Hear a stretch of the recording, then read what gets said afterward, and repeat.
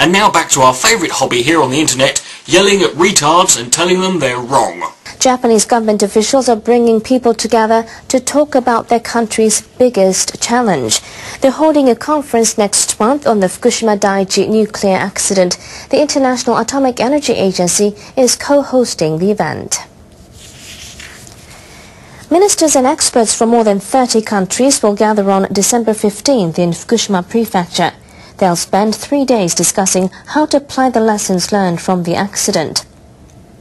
Japanese government officials say they'll emphasize the importance of accuracy and transparency in the sharing of information.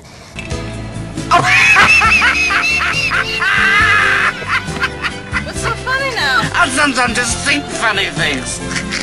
They also say they're going to stress the need to establish better ways to protect residents who live near nuclear, nuclear plants from radiation leaks. Japan is expected to ask for international help to improve technologies for cleaning up radioactive substances and dismantling nuclear reactors.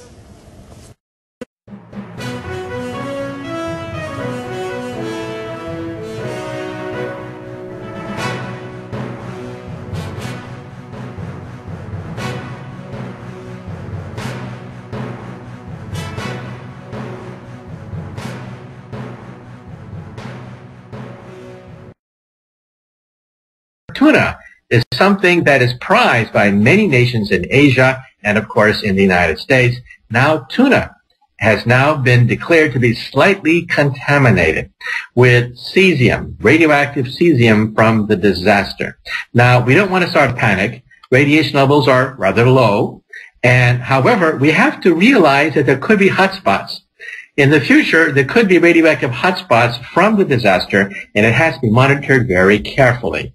Now, in the field, we have an expression, quote, the solution to pollution is dilution, meaning that for the most part, the Pacific Ocean has diluted much of the nuclear waste and nuclear contamination from Fukushima. However, there are hotspots.